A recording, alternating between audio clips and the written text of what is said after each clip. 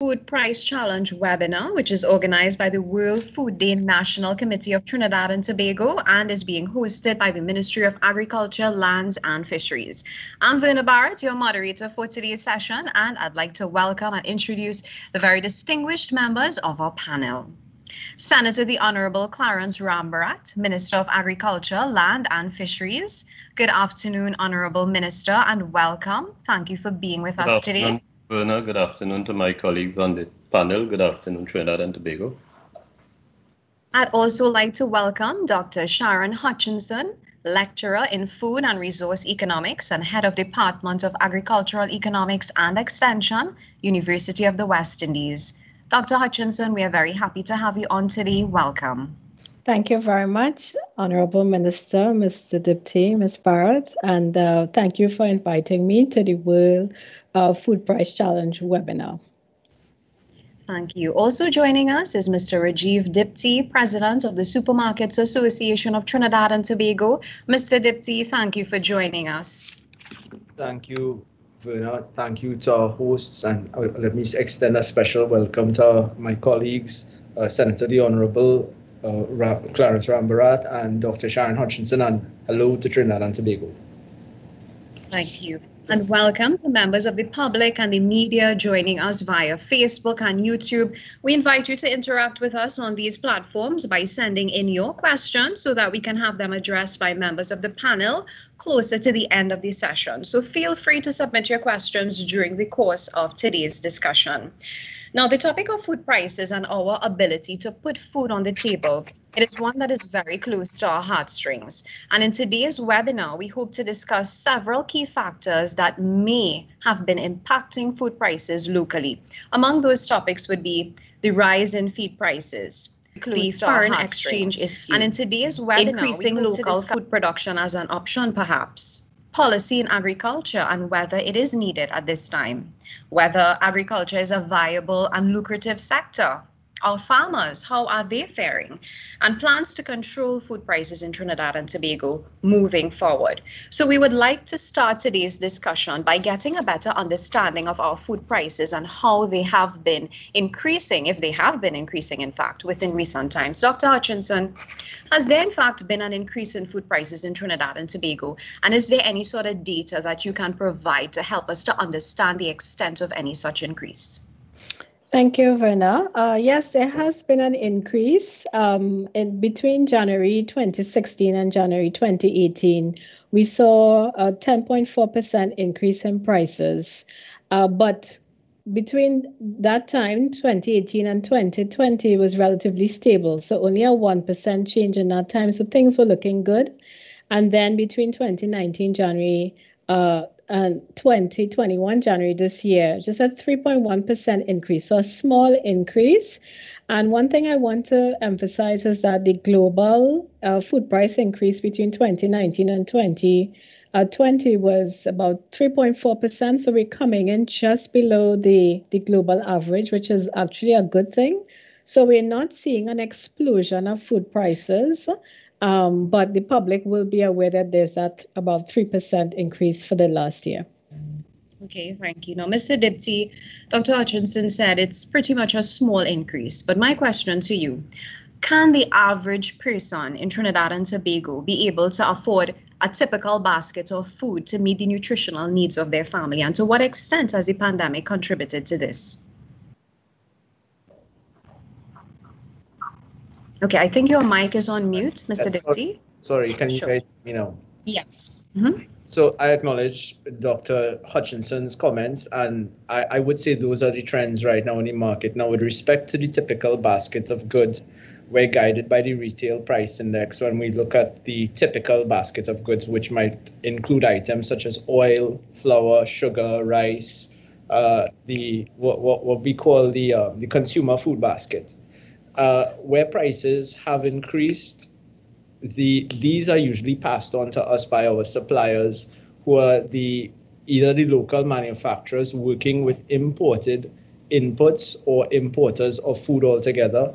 We continue to see that we continue to acknowledge that we cannot put goods out that consumers cannot afford simply put because these goods need to be moving all the time So working with suppliers, we tend to try to keep those items uh, where possible, providing substitutes to meet the pocket of the customer. Certainly, prices have increased. We, there's no denying that. But at the same time, I would have, I would say that there's been no explosion of food prices. That these are continually incremental in the background all the time, based on prevailing trends in the larger economic climate.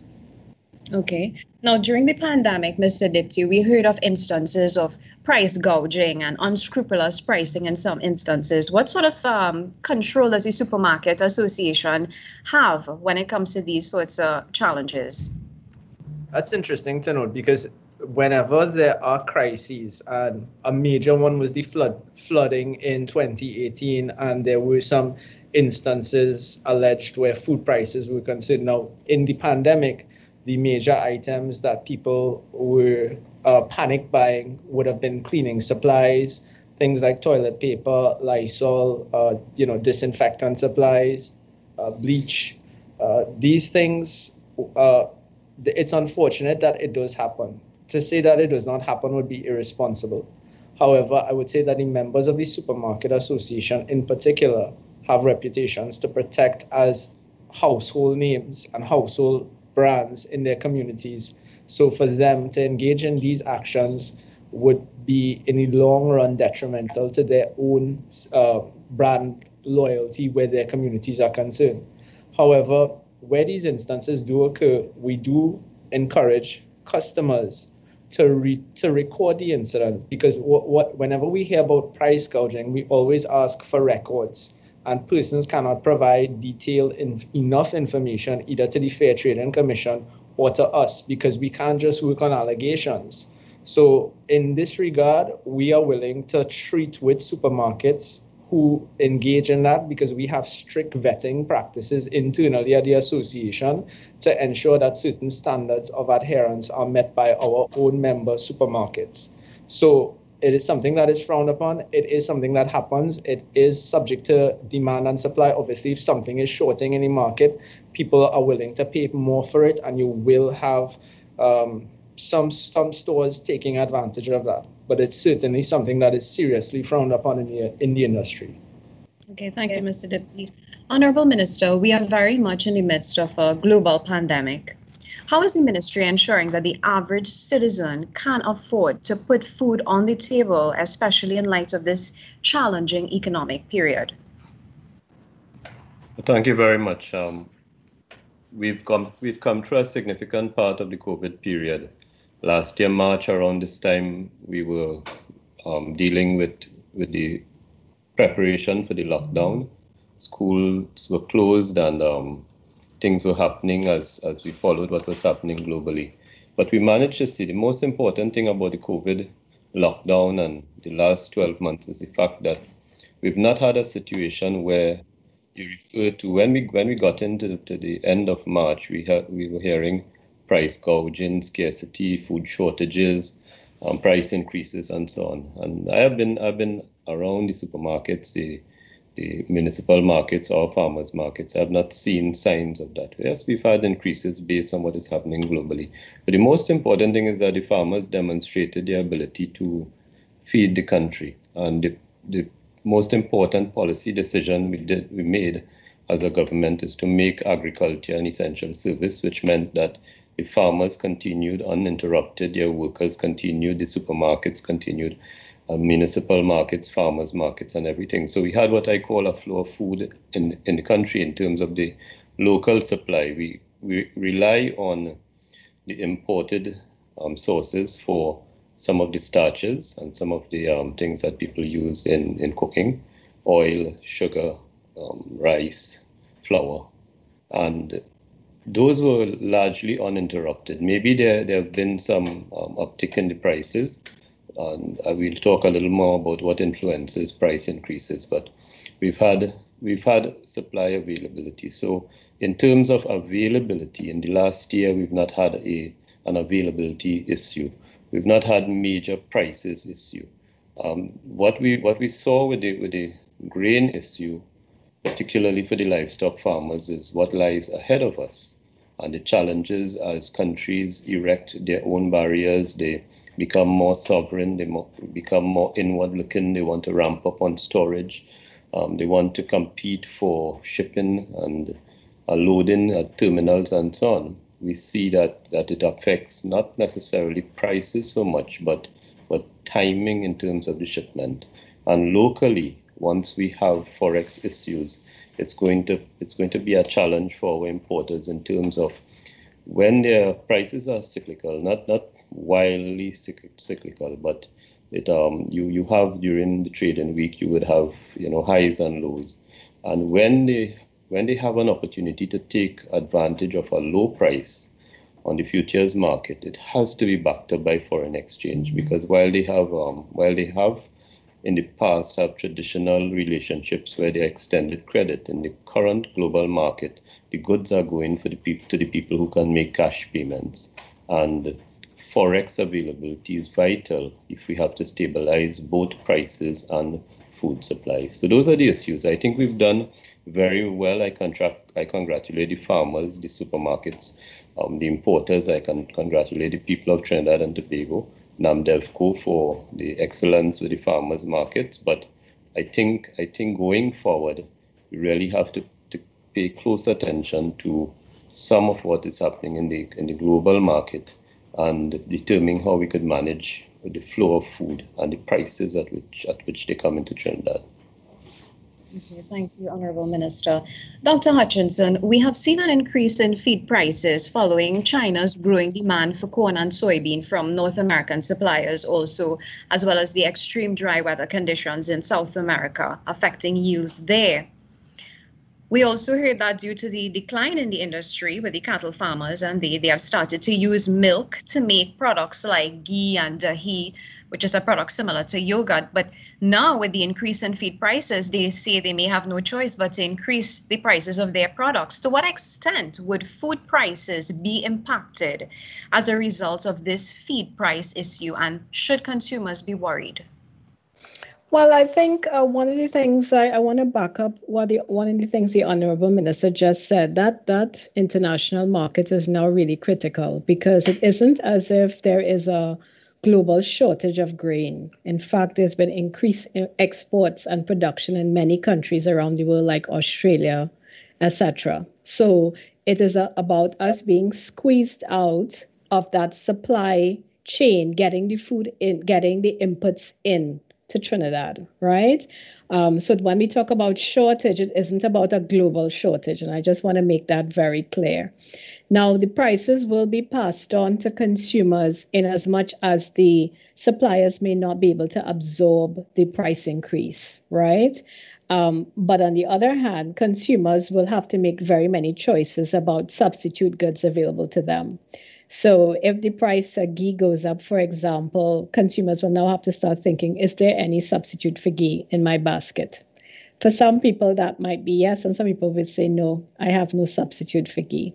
So that is sort of where the personal decision comes in. So consumers can expect to see an increase in the downstream goods um, that would use the um, the higher dairy products, for example, in this case. Um, but if there are no substitute goods, then the consumers will be forced to accept the higher price. And so then it becomes about competition in the local market, what other substitute goods could come in and fill that void. But it really goes back to us getting to a place where we could perhaps produce more of our own feeds locally. I think we've kind of lost the ability to do that heavy R&D that we used to be engaged in, let's say 20, 30 years ago um, where we were getting into silage options, um, feed options, using byproducts, waste products. I think we need to get back to some of that. Thank you. Sure. Mr. Diptee, how concerned should we be about the impact of this on food prices in Trinidad and Tobago, seeing that both uh, NFM and Mastermix, they would have also increased their prices by uh, 14 and 10% respectively? What can we expect? You know, I want to I want to agree with Dr. Hutchinson where she said that some that we're looking at substitute options in a lot of categories right now because in terms of the average consumer accessing certain price points, those options need to be available on the supermarket shelves. So whereas brand loyalty was a huge staple of the past, today for, for today's consumer, not so much. They're more about accessing value for money. Now, with regards to the increase in feeds, to be honest, we're at the supermarkets, we're price takers, we're not price setters. Uh, that it's it's a situation where if our suppliers are telling us that these prices are going up, then we'll have to put it out to the market at a certain price point. However, uh, consumers always have the options to trade down. There, there are a lot there are a lot of options on the market, especially when it comes to um, poultry. I, I, know a lot of our stores deal in frozen meats and not necessarily fresh, so it's um, it's it, it's it's a point to be well taken in terms of uh, uh, what's going to happen at the supermarkets. But certainly, once an once a supplier indicates that prices are going up, it's going to have an effect, no doubt. So, no sort of pricing control mechanism that you can think of to possibly help to curb the impact. Where when the cost of operations is affected to an extent that you cannot control or continue to absorb the price increases because sometimes if if price increases were abnormal and uh, and it's a one-off we'll try to work to absorb the price increase. But it, but during the pandemic price increases have been abnormal for a number of reasons forex access um, you know shipping there, there's been so many challenges that have been novel in the last year and that would have contributed to any slippery price increases. We don't see this as being the new normal. Should there be some modality of going back to a new normal, to, to, to the normal that we knew before, then we expect prices to go back to typical cycles that we've seen in the past. Okay. Honorable Minister, in a recent newspaper article, the president of the Cattle Farmers Association, um, Mr. Chris Medford, he said that this increase in feed prices was a nail in the coffin for cattle farming in TNT, and that comprises both dairy and beef cattle. And lactating cows need high quality grass and feed concentrates. And he went on to ask a question Why should we be in this position where we depend on imported grains to make livestock feed when we can develop feed and grass banks in Madras, for instance? What are your comments? Well, the, the most important thing to me is the we, because whenever whenever people talk about about we, the we doesn't include them. They talk about the taxpayers of this country. So whether it's the rice farmers, the dairy farmers you listen to, there is always a, a check to be written by the state. The fact is that dairy has been in this situation for decades. Um, when we did not have a free market system, and we had the negative list. We relied on Nestle to produce, to, to purchase the, the local milk and to supply it to the market and, and the consumers bought in, in particularly in the rural communities, they bought their fresh milk. But the fact is that a lot changed. Um, one was labor available to the, to the dairy farmers. Two, um, poor, poor productivity. If, if you ask Nestle or you ask the people involved in the in the business of livestock, they would point to reports of absolutely poor farming practices. Um, farmers not being willing to to to plant feed, not being willing to um, provide their animals with the feed that will give them the maximum yield in terms of production. And the animals have uh, the standard of production and level of production on the farms has, has decreased over time. And they depend heavily on the government to provide input. The taxpayers of the country provide to farmers one of the most important things, which is cheap land for them to farm on. So it is not a matter of, of just when they talk about um, growing our own um, feed, they're talking about the state. So when they talk about a, a grass bank in, in Madras, they're talking about me as a minister, in, you know, putting in millions to pay people to plant grass to give to farmers free. You cannot you cannot function in an economy on that basis. I saw Riyad Mohammed in that Newsday article make a very good point, which is even when energy revenues were high, we were not we were not engaged in that sort of behavior. Uh, what we've done in the ministry, the first thing I recognize in our livestock um, part of the ministry is that these farms that we had uh, with animals and so on, all we are doing really is to is to grow out, feed, spend taxpayers' money feeding animals, and really bring in very little value. A good a good comparison would be the decision of Hope Farm in Tobago last week to sell eggs at seven dollars a dozen. Now you have you have incentivized and you have caused people to get into that business. There is a selling price in Tobago of about 20 $22 a, a dozen. For every dozen sold on the market with a subsidized taxpayer dollar, you're really hurting the farmers. So what we've done is that we've taken the Aripo Livestock Farm, 1,146 acres of land, and we've put it into a private-public partnership with an established operator who will invest upwards of $30 million in that farm and bring it to the level of production that will also help the smaller farmers. So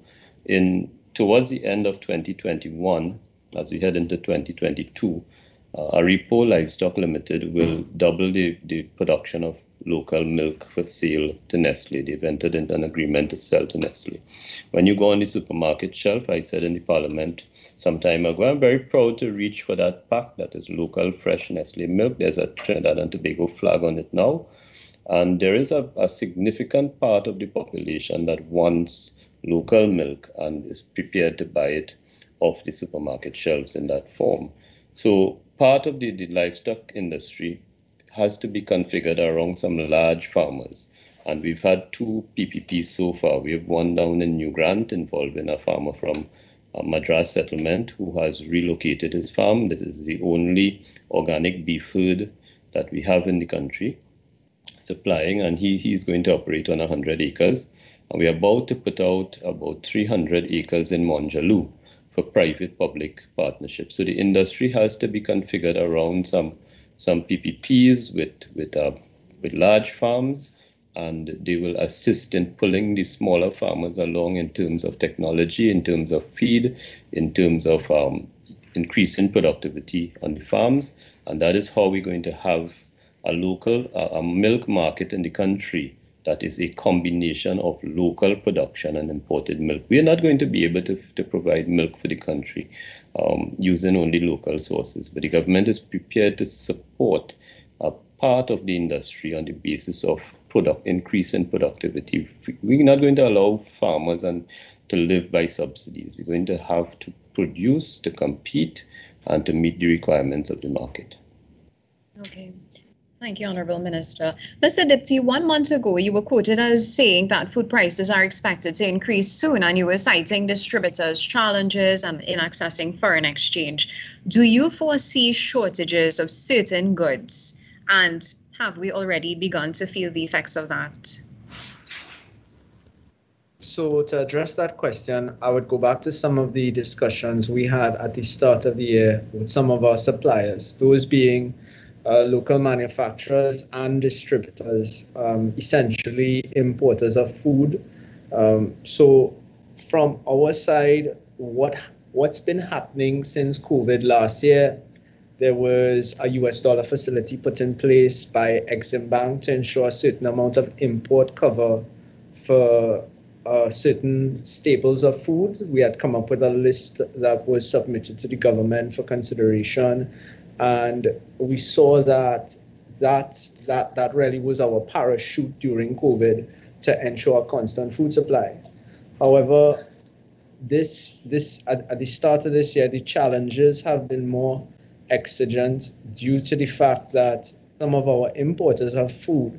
Let's just say they have a portfolio of 30 brands. They have been dropping some of those lines of products in some category or to prioritize foreign exchange, either because one, product is too expensive for the local market to continue to access, uh, or two, the production capacity abroad has is now down to 15, now down to 50% because of the COVID um, operating, you know, health protocols at, at, at certain factories. So we've seen some products within categories disappear altogether. We've seen that some some of our distributors are really struggling to continue to import um, their their goods. And what's been happening during COVID is that some of these foreign principles that you import from the credit relationship that was normal is now strained because they're looking for US dollars upfront because of the, the, the, situation of demand and supply. Remember, there's so much demand and supply right now for the cost of goods and how these relationships have been stretched. So some of our typical uh, importers have, have are looking for new suppliers internationally altogether or they're or they're trying to to rearrange credit terms and relationships to suit how the foreign exchange is coming to them. So certainly there, there, there continue to be challenges, but where there are challenges, for us, there are also opportunities.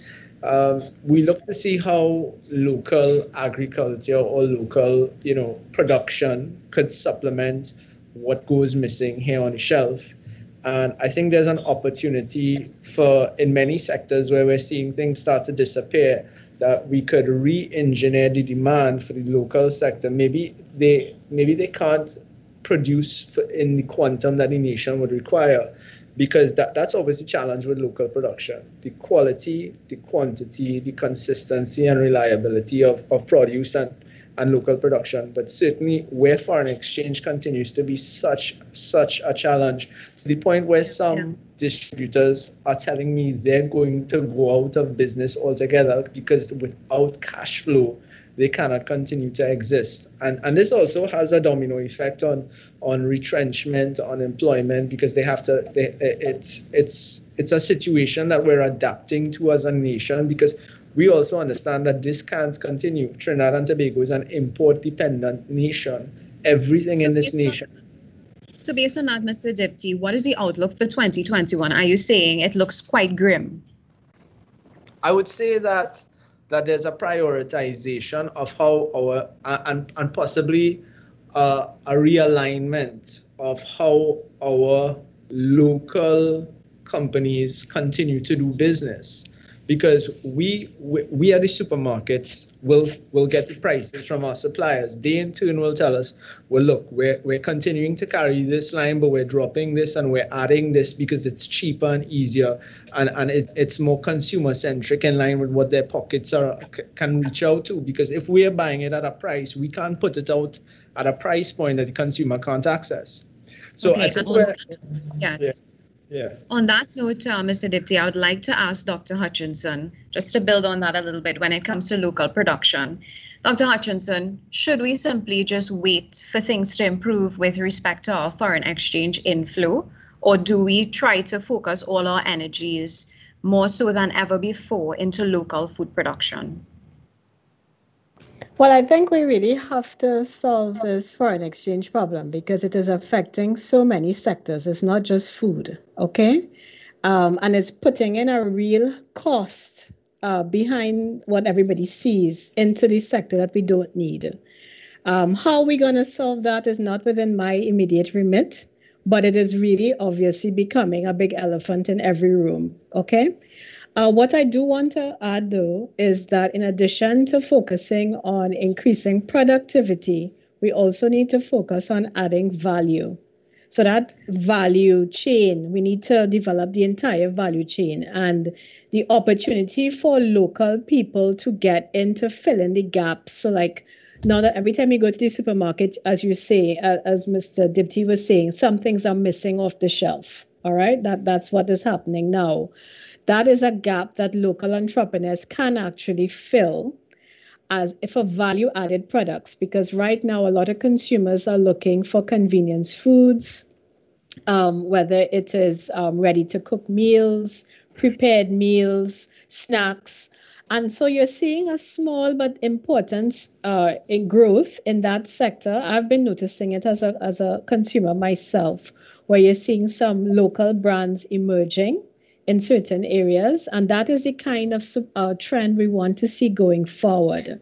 So that uh, if people acquire taste for these local foods, then, you know, post pandemic, they will get a foothold into the market and be able to build their business from that. So this is actually a good time for local entrepreneurs to step up, step in, and fill that gap where we're seeing the gap on the shelves. I want to build on that point in this the the other topic when we talk a little bit about local food production. But before I do so, Minister, the big question is there any simple solution to this issue of foreign exchange shortage impacting our food prices in Trinidad and Tobago? And what is the strategy moving forward? Well, before we get there, um, I've taken long enough to, to say what I always say. And that is when people approach me on this food bill, food import bill, I always say to them, send me a photo of your refrigerator, not, not the outside, the inside, and your cupboards. The fact is that we are eating ourselves to death in this country. And long before my appointment, I, I always said the, the justification for the existence of agriculture is the impact it's going to make, make on our health bill. So I remember right when I wrote in the Express, I wrote about 1999, I believe, was the last time the Ministry of National Security um, budget allocation was under a billion dollars. It's now 11 or 10 billion dollars. Similarly, our healthcare cost is not rising. You know, we're building hospitals to meet demand, except it's a demand that we don't want. And we really have to. And, and the control lies within the hands of the individual. Like before we came on, Verna, I saw you with your water bottle. Um, thanks for saving the environment without the plastic. I am not as good as you are. But the fact is that individual health, um, lifestyle decisions really influences the food import bill. And the farmers have made available to us green leafy vegetables, fruit. Um, I, I, don't think the cost of the cost of fruit sometimes is is really upsetting simply because of how it comes to the market. So the fact is that it's not a matter of getting the imported food and paying for it and getting the forex. We have to make a decision on what we need to eat. We are eating ourselves to death. And there are things that you re- I don't I know Rajiv is gonna get upset with me, but mayonnaise, ketchup, um, mar- maraschino, che- um, cherries, some aspects of dairy, they just you just don't need it. And our population has to face up for that. Not because I want to save on forex or not because I I don't like what they eat. I've, I've, um, I've, i was in the public last late last year for what I what I said about how what people should and shouldn't eat. The point is that we have to decide as individuals um, what is best for health and make our purchasing decisions on that basis. And what you would see happening is that you'd see the demand for certain things in the supermarket falling off, and you would see the, the, the need for forex also falling off. And if you, it's an easy easy answer to the forex situation. You know, we depended on oil and gas revenues um, to to provide the U.S. and those revenues have fallen off significantly. The taxation from the from the oil and gas companies, the quarterly um, uh, payment we get has fallen off because of production levels and because of pricing, and also because of tax exemptions given years ago that um, continue to to mean that the oil, oil and gas companies do not pay um, certain types of taxation revenues. They are allowed to write it off. So the point is that we will have this forex challenge going forward because we're not earning at the levels we used to earn. But with or without the forex, my position would have been the same. That for, for healthy living and healthy lifestyles, we have to change what is on our plate. We have to go back to old school green leafy vegetables, protein, um, small amounts of starch, rest, exercise, and agua. I listened to a hundred year old lady at um, they were interviewing her at a gym in Diego Martin, I believe it was last year or the year before. And that was her recipe for, for longevity. It's not changed in the last 100 or 200 years. And um, we don't like, as a country, we believe that somebody else should do it. I should make everybody healthy. I should wave a magic wand. I should feed everybody. But you know what? Our farmers have been doing good. They could do better. Um, they could do better with our support. We've been working with, with them and but we need the support from the consumers. We've been getting that at the farmers market, and we need to wean ourselves off the unhealthy products that we consume. It's as simple as that. Now, Minister, unhealthy is one thing, but the prices of some local products are increasing due to the increased feed prices, for instance. Example, those that use dairy components for ice cream, for instance. Well, I, I mean, that's from the people health have been talking. People have been talking about the livestock, and um, the fact is that one because one supplier, so the the the poultry market is out of it. The poultry market is um is not affected by increased prices. The livestock market and the segment supported by NFM has experienced a 14% increase in the prices. The, the Nutrimix has not include, in, increased their prices to the livestock sector. So Nutrimix prices remains below NFM's prices. And the farmers have the option of, of purchasing from the Nutrimix brand. Now, the price increase had to do with, with um, global prices, one thing in December, but also the, the um, difficulties in getting a berthing spot for the delivery, the delivery vessel, and there were delays and so on in arriving in Trinidad. So what we what we're seeing now is the increases on account of deliveries that came in January and February. Um, those prices will will depend on global prices and, and how you know um, the availability of forex, as I said.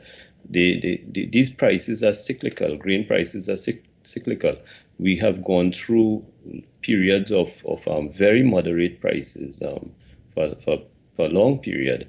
And we face in the market, the, the question is, you know, when people, I, I guess, lurking in the minds of everybody is that government comes and absorbs the increases. Well, I don't think that is something that is that is going to happen. But grain is just the grain, the 14% increase is just one item for a particular segment of the livestock market that relies on, on, on grain and relies on the NFM brand. But across the board, in terms of the vegetables, in fact, pak choy, for example, was wholesaling at a dollar for one um, last week Friday, and it has to do with with supply onto the, onto the market. So now we're in the dry season when you have may have had uh, problems because of the excessive heat.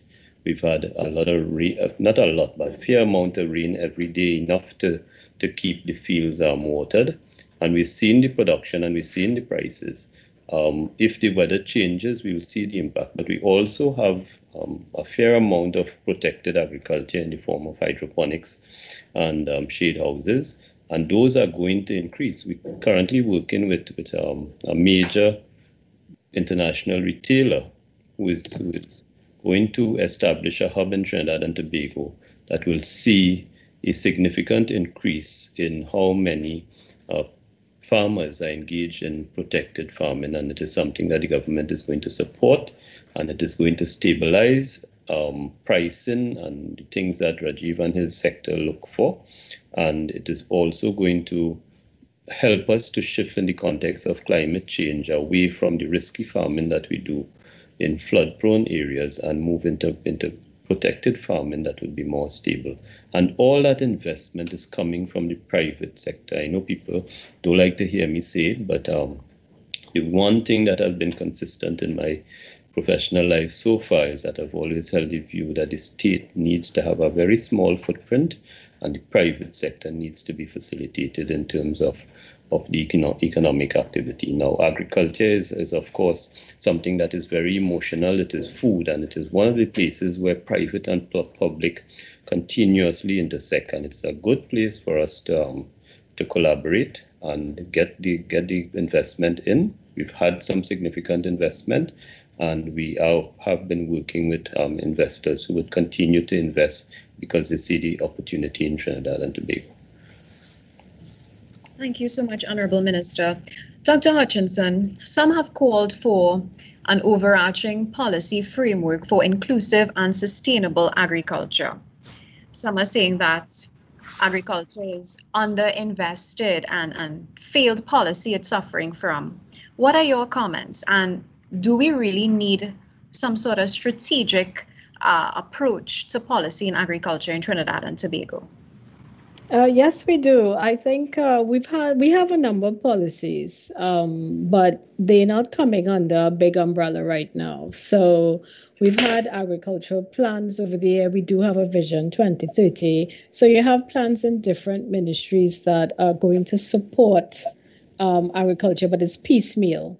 So, what is needed now, really, and we've been talking about it for a long time, is a national food and nutrition security policy that would essentially put everything under one umbrella for the long haul. I think one of the things, whether you have a pandemic or you don't have a pandemic, you needed to have you need to have a long-term vision about how health, wellness, availability, stability, and all of these core elements come together overall, and what kind of support structures are needed when things don't work well. So, just as how you would have a national disaster plan um, for natural disasters, and so you'll need to have an economic plan for how you're going to support all the stakeholders along the value chain. So, for example, um, reducing risk among all the actors, particularly, particularly farmers. We still don't have a, a national insurance scheme, for example. Other countries like Jamaica have moved ahead to insure their farmers and fishers Barbados has started that this year as well with Sagicor. So there's some low hanging fruit, I believe, that could fit into this overall policy that we need to get back on the table. We've had a bit of starts and stops over the years, so it isn't as if we haven't tried uh, developed plans, but I think we do have to enact them and get everything working together so that when you have a situation like this, you already have building blocks in place to react to it efficiently and work through all these challenges. So that's what I'm seeing overall. Sure, thank you, Dr. Hutchinson. Honorable Minister, I would really love for you to respond to that. The need for a national food and nutrition policy and a national insurance scheme. What are your thoughts? What are some of the development plans well, we have working on? I know that people love these plans and these long documents that another minister comes along and replaces it with something. I was very clear when I came in as minister there were at least 15 plans available to me going back to 1956, and I found that the 2001 plan prepared by ICA, which set out maybe about 60 um, deliverables, was a plan that even 14 years after was a good plan. So at the same time, I did in fact commission a, a national food and nutrition plan. I got an 85 page document and um, and found great difficulty in navigating it and most likely implementing it. And the Roadmap Committee has given us exactly that a roadmap for agriculture. They've identified 10, 10 areas that we should focus on. 10 areas are not new, they're things that have been said before. Uh, value chain, food system, reliability, um, climate change, protecting. This has been it's been around a, a long a long time. So um, it is it is a matter of implementation. There is there there is sufficient available to us to tell us what we need to do. But I would say that the roadmap committee report represents the way forward for us. Um, out of that will of course come things on the operational side, how we how we get it done, how we get things implemented. And it would not be it would not uh, three things you hear from me all the time when I talk about agriculture. One, I talk about land tenure. I've spared you that so far today.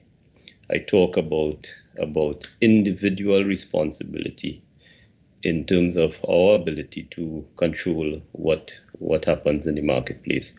And um, the third thing I, I talk about is this issue of the public service. This public service is not capable of taking this ministry and this country forward. Um, there, there are tremendous challenges in trying to keep up with the private sector, trying to manage, trying to service the private sector with our out, outmoded model of operation. I find it very difficult to navigate in an environment where we do not we do not have you cannot manage staff, you cannot manage deliverables, you have accountability, you are responsible to the to the country and to the parliament, but you have no um, control over performance and promotion and transfer and discipline and so on. So, what what is the thing that we overlook because we tend to protect the public public servants and the public sector. We tend to protect them, but I've been very open and consistent in saying that as we modify how we operate and as we work closer with the private sector, we need a modern public service that, that is supportive of some of the flexibility that is required, some of the timelines that must be met, and some of the controls over cost that must be instituted. Thank you so much, Honorable Minister. Dr. Hutchinson, we've been talking about policy in agriculture, local food production, but a main element of all of this is our farmers. How are our farmers faring? And is agriculture a lucrative and viable sector at this time? Because we've been always talking about making agriculture look sexy again. That is Mr. Avinash, Minister Avinash Singh's usual quote, making agriculture sexy again. Is agriculture really lucrative? It's a, is it a viable sector? And how are our farmers faring?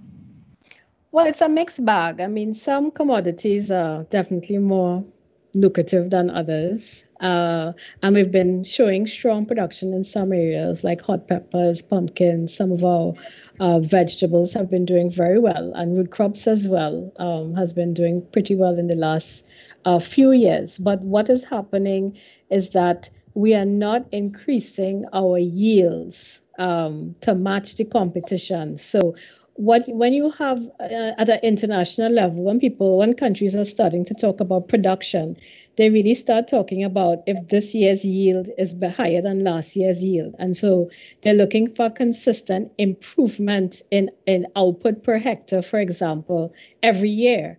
We are not at that point yet of, of, of focusing on how much better we're doing over time per worker or per unit of land. I mean, you can't just talk about production, right? It has to be about productivity. So every time we stay put at the same level, uh, or even go back a little bit, we are actually falling really far behind the leaders in a particular uh, commodity. So I, I would talk about rice, for example. Our our productivity in rice is extremely low compared to other rice growing areas. And that is part of the reason why we have such a high difficulty in competing. So I understand that the Honorable Minister um, was indicating that we might be able to change the food import bill by changing some habits, but in fact, the production will not be able to keep up to fill that gap unless we increase productivity significantly. And that's going to re- rely on innovation uh, uh, from whether it's economic innovation or technological innovation, but we have to innovate um, our systems, the way we do things, the varieties, all of that has to come together for us to improve um, output, right? And reduce risk at the same time. So there are several things that need to go into becoming a better competitor on the global market. We can't displace imports just like that. That's the bottom line. Now, last week, Dr. Hutchinson, farmers in Penal, they suffered losses in flooding, right? Now, there are rice farmers who cannot even repay loans for agricultural equipment that they took. There are rice farmers saying that they are practically begging for monies that are owed to them from NFM. And as you rightly said, we are practically down to 12 rice farmers from 6,000 in 1995, according to a newspaper article. And I'd like to ask you, uh, Mr. Diptee, in instances like this, before I get to the minister, I'd like to ask you, Mr. Diptee, in instances like this, what role does the Supermarket Association play in offering any sort of assistance to farmers? Hi, hi, hi I, I have to say that I agree with a lot of the comments made by the Honorable Minister as well as Dr. Hutchinson um, the public service is definitely one area that needs to be modernized. I, I would also say that if you talk to any of our supermarkets, we have absolutely no problem purchasing supplies from local farmers. The question is is the local industry able to supply the supermarkets the quantity, the quality, the constant supply, and volume that we will require as well as at a competitive price to the local stores. And, if, and, and for example, let's look at rice. If we if we do a benchmark of our rice industry to what our regional suppliers are or international suppliers are, how do we position that local production?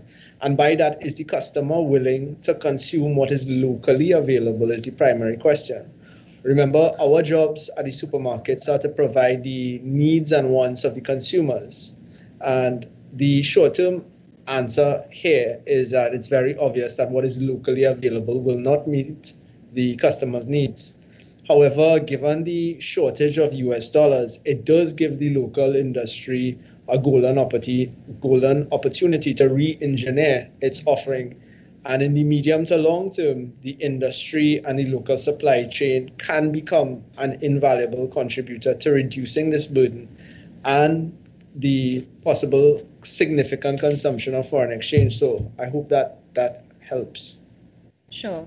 Now, Minister, I'd like you to, Honorable Minister, I'd like you to also respond to, to these suggestions that have been put forward by members of the public, agricultural economists, and professors in the field. There have been suggestions such as setting targets to produce, for instance, 25% of the rice we consume. Uh, how much rice are we uh, producing right now uh, compared to The what we would have? Mhm. The thing is that the economists are not willing to put their money. I mean, I've I've asked why why are they not investing in, in this pie in the sky rice rice industry? I unlike them, I appeared before the Joint Select Committee that in 2019, I believe, considered national flour mills and the rice industry. I appeared before the committee. I I was not speaking to reporters secretly, and I spent three hours in the Joint Select Committee, and I placed I placed um, the position on on Hansard. The fact is that when you talk about 19, when you talk about rice production, you're talking essentially about Caroni 1975 Limited being a rice producer, Caroni um, producing two crops of um, one type of rice in the year and another crop, another type of a different type in the year. So three three crops and, and, and contributing. But of course, nobody ever asked Caroni what was the cost per pound of producing that rice.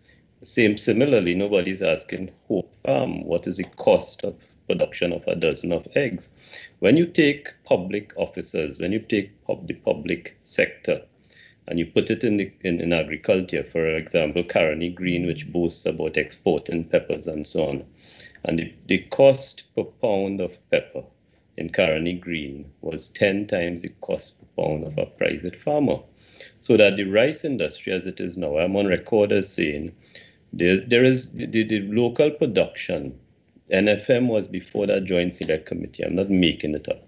And they said that the rice that they purchase from farmers using taxpayers' money is put into pet rice.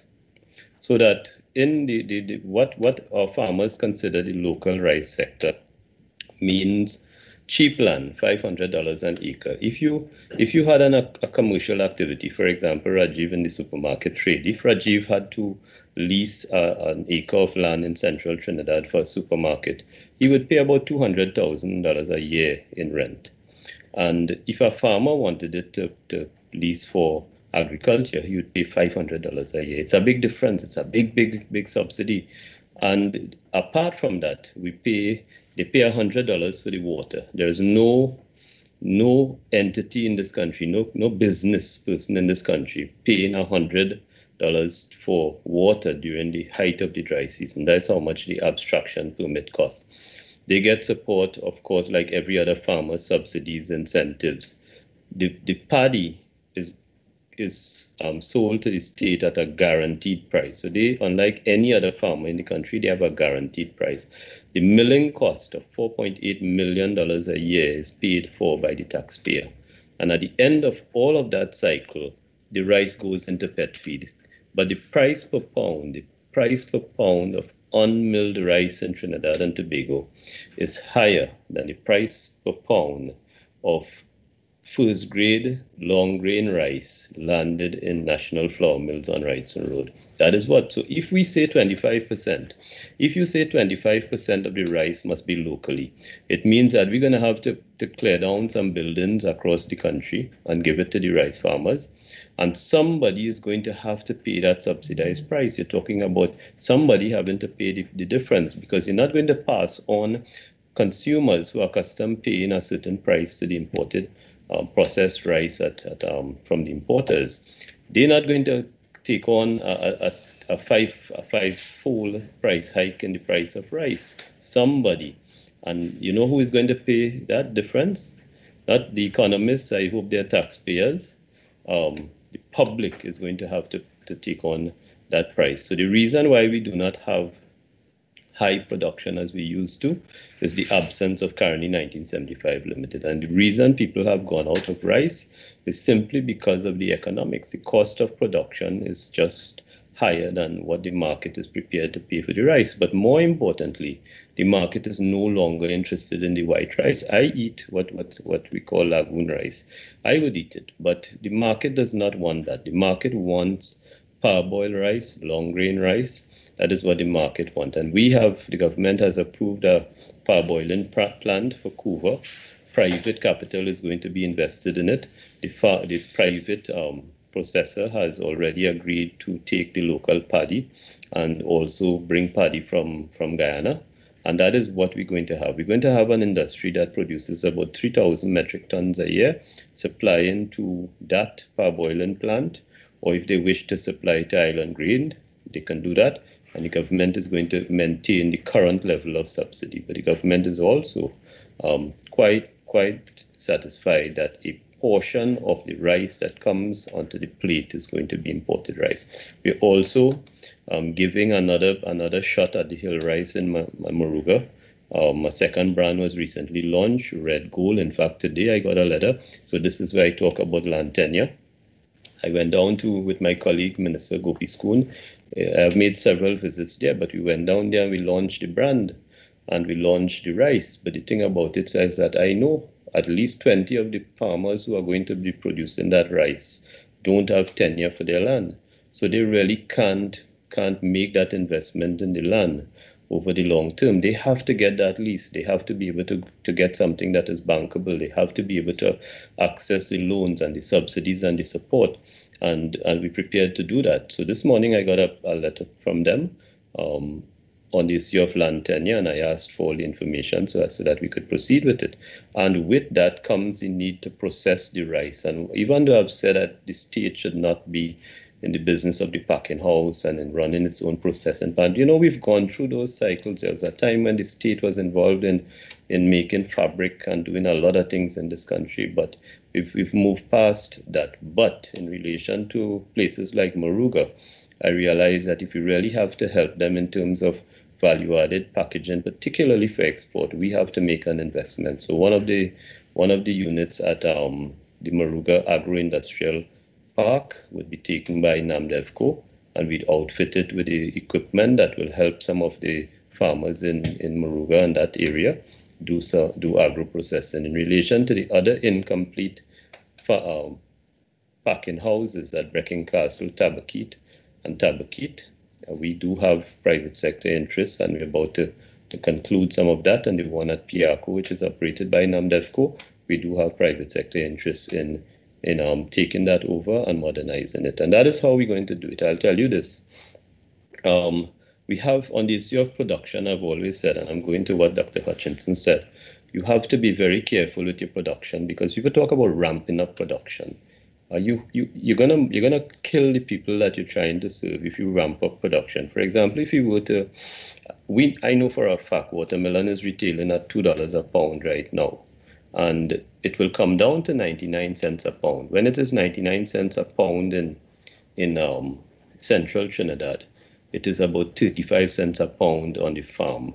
So that if we double production and we don't have a place for that increased production, the farmers are going to suffer in the long in the long term. So we have to we have to to increase the market before we increase the production. We have to increase the market, stabilize the supplies, get the right varieties, and so on. We have NAMDEVCO has just um, you know returned to a consistent supply to Subway, for example. The quantities are still we we're doing about fifteen thousand a month um, in terms of pounds which is about $150,000 in value a month.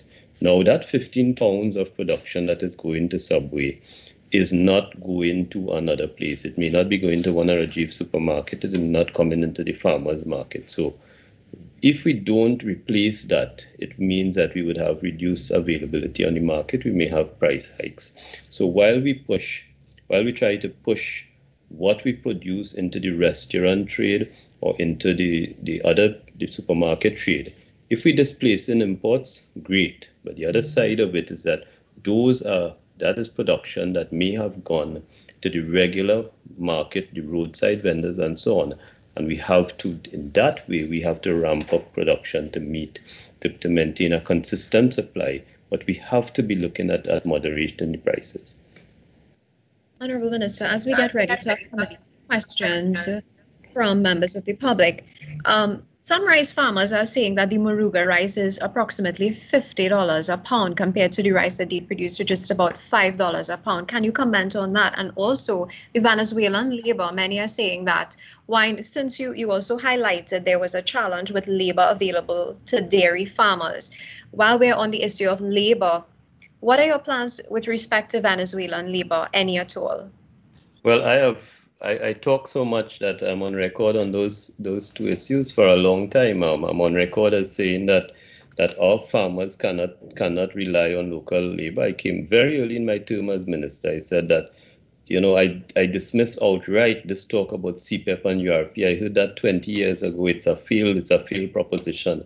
Farming is hard work. In some cases, it's very um, specialized work, and the farmers needed access to a reliable, trainable productive supply, and they've gotten that with the Venezuelan. Of course, it doesn't take long for some of them to get bad habits, but by and large, farmers have reported to me. I'm on farms almost every day, and I see Venezuelans at work. I'm happy that we're going to extend the time, and I hope that they stay here for, for long enough that we are able to to make use of their labor. So the fact is that um, we do have our our local laborers who um, some of them have shifted. They don't want to. They don't want to be paid by the day. They want to be paid by the task. So they want a defined task, and that is fair enough.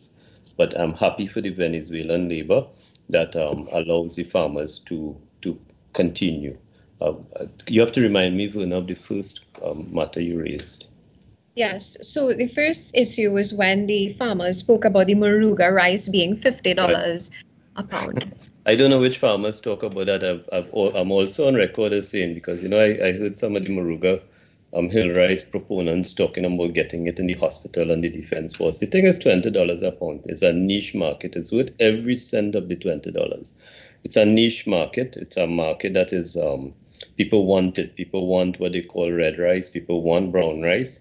They are, they are, while they are held, held um, issues with consumption of rice. The fact is that culturally, um, people like me want rice on our plate and we want it every day, but we also welcome the opportunity for healthier forms of rice. So $20 a pound, it's not something that is going to be mainstream, but there is sufficient demand for it um, at $20 a pound or maybe even higher. And I know that the, the producers can't fill that market. There are certain things in the country like I always say, smoke fish, for example, is like it's like getting um getting the vaccine.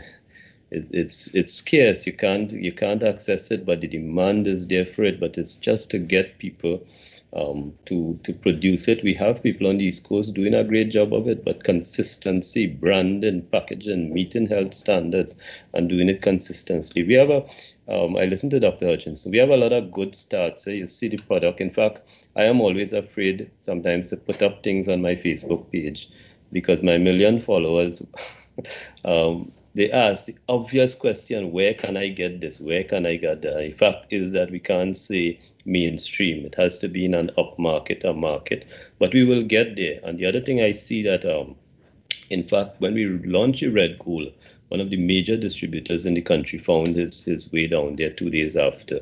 The distributors want want the products. I know that Rajiv and the supermarket trade one local because there are people who want to support their communities. They want to um, support a farm, a family or a farmer that they know, and they want it. There, there's room for it, and we have to. It's just a lot of handholding involved in, in getting products to market consistently.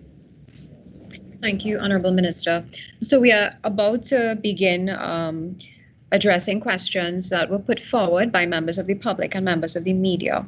So um, Richard Thompson asked the question, vegetable prices in the markets are declining, not increasing. People don't have the spending power. What can the Ministry of Agriculture do or suggest? People don't have the Yeah. The person is saying people don't have the spending power because vegetable prices in the market are declining, not increasing. What can the Ministry of Agriculture do or suggest? That if the vegetable prices are declining in the market, then people, it's it's more affordable to people. I have seen the prices. The person is right. The prices are are cyclical, but um, they've been trending at this time. They've been trending lower, and the, the, the fresh fresh vegetables in the farmers markets or the municipal markets is far more affordable than processed food and far more nutritious for the family. So um, it because because people are having to having challenges in terms of their disposable income and in some cases in, in terms of income, then you go to not only what what is cheaper, but you also get the benefit of what is healthier. The most this is why the government went into the veggie boxes program through NAMDEVCO and the Ministry of Social Development. Um, we saw that, we saw that the most vulnerable in the society shouldn't be swiping a card at the supermarket and buying buying processed imported food. We should give them the opportunity to have um, a, you know food at home that they could cook and they could eat healthy. And that is why the 90 pound box of fruit and vegetable, along with the two two um, local chickens, made a big impact. And that is why we're going to resume it in April by continuing the distribution of those boxes to the most vulnerable in the society. Thank you, Honourable Minister. Also, a concerned citizen is asking, is food substitution a theoretical aspiration, or do you think it can be a practical reality? And I'd like to uh, send that question off to Dr. Hutchinson to comment, please. I think we can uh, substitute, but only up to a point. Uh, there are some things we just cannot produce here because of our weather, etc. And then we have significant challenges with being competitive. So unless we become competitive in a particular product, we just cannot compete. So we have to focus on some items and do those well, and those we can substitute. But the idea of substituting everything on the plate, that is not possible uh, for us. We're too small. Um, and this is always a challenge with a small economy like ours with limited land space. Um, but the investments that the Honorable Minister was talking about and the hand holding, that is what I think we need to ramp up a bit more because that is the value chain development that he's like talking about with limited really. land space, getting the distributors um, in connection with the, the processors in connection with the producers the in connection with the marketers That is in I connection a bit more because, because that is the consumers need to like be clear on what are the benefits, what are the added value that they're getting for this product um, and there are oftentimes a disconnect. And then there's also a disconnect in terms of getting new people into that process. And when I say that process, I'm not just talking about into production because there's so many other things that people can do, whether it's marketing, advertising. So, for example, now uh, with this pandemic, uh, we're seeing around the world this global move towards uh, mobility of food. So not everything now is go to a place to buy. It's also about people bringing food to you. And that could be fish, that could be prepared meal, that could be vegetables. So we have to kind of think differently about how we get food and how we move food to the consumer as well. And then there's a space for entrepreneurs to fill in that in that void that I think now is the time for people to step in. So substitution, but not just in terms of product, but in terms of services okay. as well. Thank you. Thank you, Dr. Hutchinson. And Mr. Diptee, I'd like to direct this question from Mr. Kenny Plaza to you. When would the consumer be aware of what is safe to buy and eat, even though the GAP or the Good Agricultural Practices has been launched? Hi, Verna. So responding to that question from Mr. Kenny G. Plaza. Plaza. Um, I, I, what what we like to do is that sometimes at the association we tend to reach out to NAMDEVCO to find out from their list of farmers uh, and from their list of checks and balances um, whom is GAP certified, what is the capabilities and competencies of, of, of some of these persons. Um, I myself was invited to visit an estate in Talparo the other day, and it was um it was quite the eye opener in terms of hydroponics efficiency, in terms of the labor force. A lot of the things that the honourable minister just discussed, I was able to see in action for myself because labor is such a, a an issue in this island. Um, so it, not all stores can make such arrangements to visit farms and and, and really, as I said, the, the key concerns for us is the quality of the produce, the reliability of the supply, the quantities that we ask for, and how consistent uh, is this something that's sustainable for them to keep up.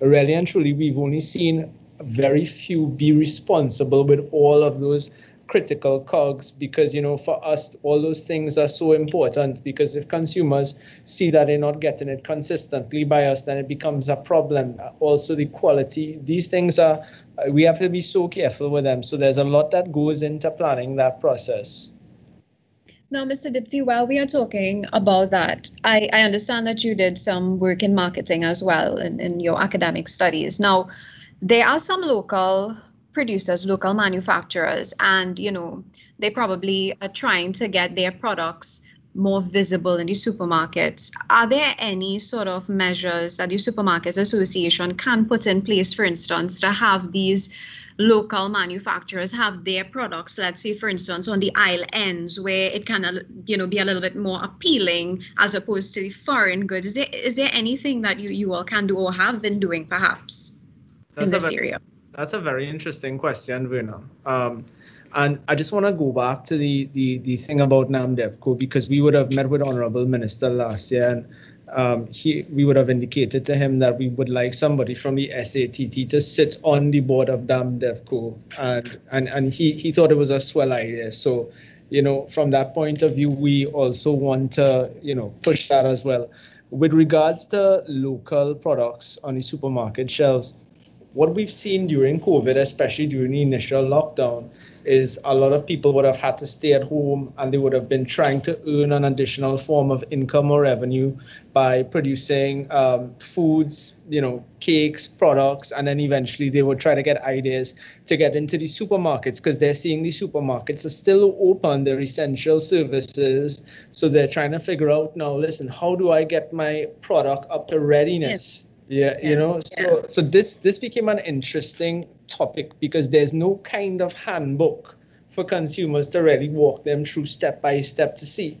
So we had a meeting actually with um, yeah with we we had we met with CARIRI, we met with Trinidad and Tobago Bureau of Standards. We even pulled together JMMB and Invest TT because this is something that we have coming together by the end of April. We're calling it the Retail Incubator Program, right? Um, so for us, we're taking some, we, we plan to inculcate a cohort of ready to go products and gestate them for the supermarkets, but we're also getting assistance from, let's just say, um, some of the programs like um, export TT, they have they have some cohorts that are not yet ready for export readiness, but they feel that some of them are ready for the local market. So they bring them to us, and we try to assist with this. Now, it, it, it's it's a very interesting thing, but we will be able to to really try to make a difference for persons who want to get their products in, into the shelves. So look out for that at the end of April. Thank you so much for that comment, Mr. Diptee. And one last question we would like to take from Ryan Davis. Um, Minister, Minister, Honorable Minister, we would like to uh, uh, direct this question to you. Mr. Ryan Davis is asking, what is the status of the fishing industry in Trinidad and Tobago? Has it been affected by COVID-19 and in what way? And what were the challenges before and what are the challenges now? So that that's three questions there. So I'll, I'll just repeat. What is the status of the fishing industry in trinidad and tobago? Has it been affected by covid-19 and what sort of challenges are there now? The the challenge has been twofold. One is that for more than 100 years we've functioned with the same piece of legislation for fisheries is about nine nine clauses and what has happened is that that has allowed the destruction of the fishing, the, the marine environment, and particularly, particularly fishing grounds, the inability to control the trawlers and so on. So that is one. The second one has been the infiltration of the industry by criminals. So not every fishing pirogue you see out there is a is um, for fishing, and because of that influence around the country where we have fisheries facilities, we see the infiltration, the destruction. Some of them we can't operate. For example, I was asked by a member of parliament for um, there, there was a video I think circulating about the last uh, shares facility, which is opposite the police station. A substantial amount of taxpayers' money has gone into it. It cannot be completed every time we get to the electrical or some other um, thing that could be removed, stolen. We have people who remove it. And across the country, when you go to the fisheries facilities, you see you see that the people who use it themselves have no interest in, in maintaining them. And you see, in some cases, they have no interest in using them. For example, in Ortoire, Mayaro, you see um, fish being sold on the roadside. And we spent in my first year, 2015, 2016, we spent about $2 million to get that facility back on track. So um, the, the big, the main thing with, with um, and of course, the, the weather conditions, we have more rough seas bulletins and on an annual basis than historically we have. We see um, Northeast Coast, for example, the facilities have issues with accessibility because of the, the rough seas and the damage by um, the tidal patterns. So we have to continuously be investing uh, money in, in, in maintaining those and in keeping them whole.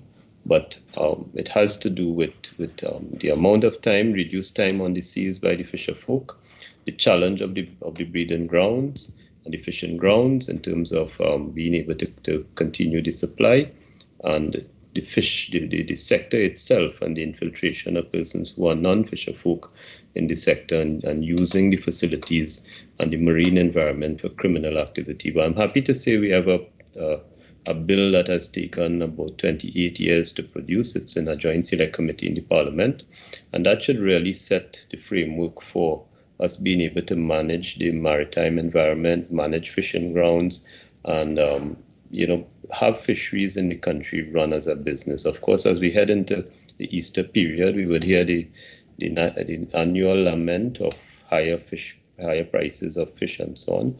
But um, prices have been have been moderate. I don't know if if the demand has been affected by by the COVID, but the fishing and fisher folk has not been have not been affected by the COVID. They've been able to ply their trade throughout because of the regulations exempting agriculture and fisheries fall under agriculture. All right. Well, thank you so much, Honourable Minister, and thank you to all the members of the panel for a very informative session. Thank you so much for your time. We have now come to the end of today's very comprehensive discussion on the food price challenge. And to all of those who would have joined in, members of the public, members of the media, we hope that you found this session useful. And thank you for all of your questions and comments. We hope that we were able to address most, if not all of them. However, we will make every effort to respond to those questions via our social media platforms.